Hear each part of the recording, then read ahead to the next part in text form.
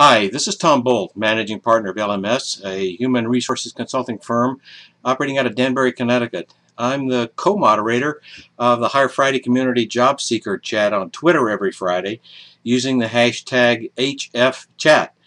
Every Friday at noon Eastern Time, uh, job seekers and job helpers get together to discuss topics related to finding employment in today's tough economy.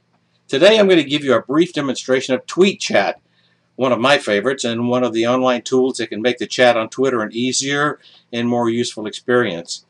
I recommend TweetChat for several reasons, uh, and I'll point some of those out as we go through the demo. But for people who may be new to Twitter or new to chatting on Twitter, uh, this is a very easy tool and it doesn't require any specific technical ability or knowledge to be able to join in. All you need to have is an active Twitter account and you're all set. So first open a browser on your computer. I'm using Google Chrome here as my preferred browser, but you can use Explorer, Firefox, Opera, or any other browser that you're comfortable with using. In the address bar, go to www.tweetchat.com and you'll see the screen shown here. Click on the Sign In button and you're taken to a screen which hooks your Twitter account with TweetChat. When you use the tweet chat to post a tweet during a chat session, it automatically sends that message to your network.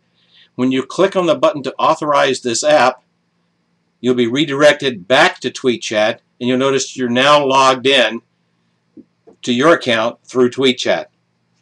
The next thing you want to do is go to the enter hashtag block at the top of the screen and enter the name of the chat session. In this case, it's HF Chat. Click on the Go button. There's no need to enter the hashtag mark as it will be inserted automatically. One of the benefits of using a site like TweetChat is that when you enter a comment, it'll automatically add the hashtag for the session at the end of your tweet. So you don't have to remember to put it in the tweet to keep the chat flow going. You'll, you'll notice that the counter at the top right of the screen has defaulted to 132 characters since it subtracted the length of the hashtag from the maximum of 140 characters. Now for some special features. If you have to step away for a moment during the chat, you can hit the pause button and you can see it obviously uh, highlights that uh, the chat is paused and you don't want to do this for too long during an active chat like uh, HF chat because uh, you'll find out that when you come back you're going to be behind. Uh, it's very difficult to catch up uh, with all of the the tweets, the fast flurry of tweets that are going on. Uh, TweetChat also has a feature called Smart Pause, and uh, I'm going to push play to return to the active chat.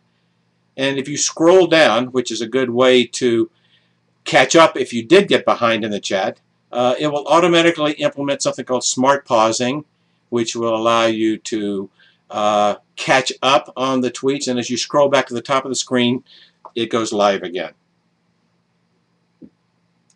The refresh speed is the button next to that one. The default is to refresh every 10 seconds.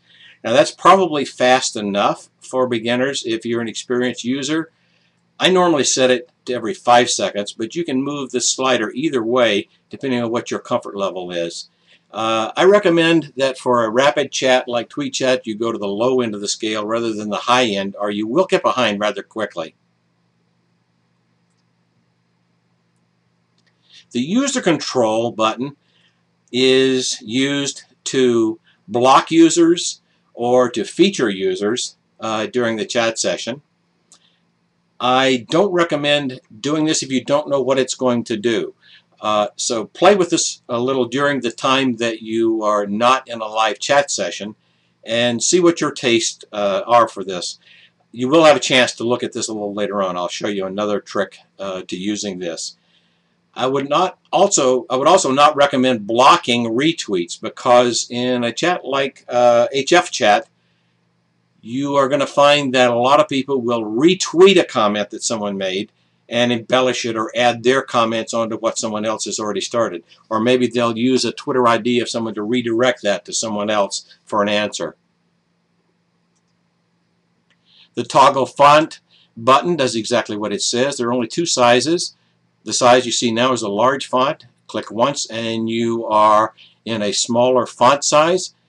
I generally leave it set for the smaller size because it allows for more tweets to be shown up on the screen, but this is also uh, due to, uh, uh, it's also suited to your personal taste and you can set it whichever way you want.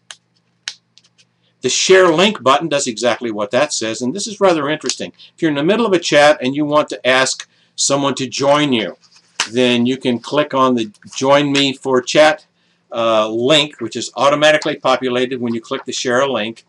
If you wanted to direct this to someone else in your network, then you can just simply add their Twitter ID. And uh, when you click the update button, this would go to them. Uh, so this is one way to keep current. Uh, just precede their login with the at sign. Now you're ready to tweet. Uh, I'm going to erase this because I'm not going to send that out at this point.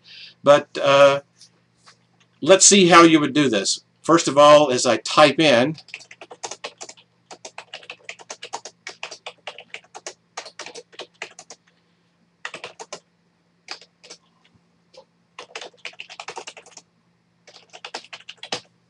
Now you'll notice that the counter's gone down to 81. That's how many characters I have remaining.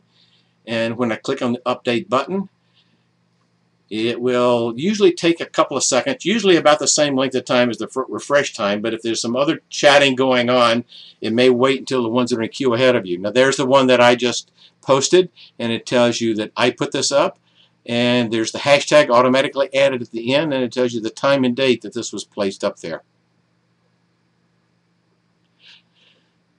The controls are simple to use. Uh, look at uh, the icon, which is the reply icon. It's the back arrow icon, and that replies to a particular tweet. So if you find a tweet somewhere that you want to to highlight, then uh, just click on that, and you can see it automatically picks up all of the uh, Twitter IDs of the people that were highlighted in that particular chat. So you're actually responding to the person who made that, but you can, if you choose, include everyone else that was on the original tweet. Or you can just delete that and uh, just reply directly to the person who made that. The next icon over is one for a retweet.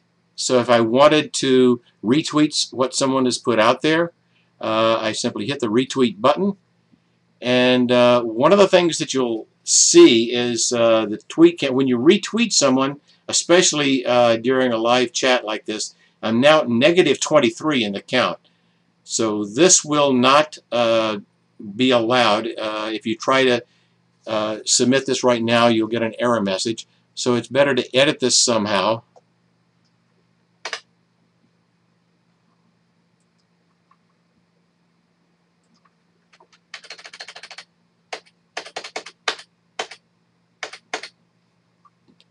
And it's ready to go. I click update and now that's going to be added to the Twitter stream.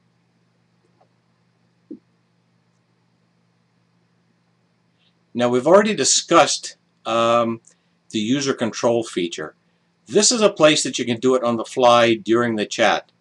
And uh, so if you click on the little head icon, you'll get the opportunity to either feature or block a user depending on, uh, on where you click.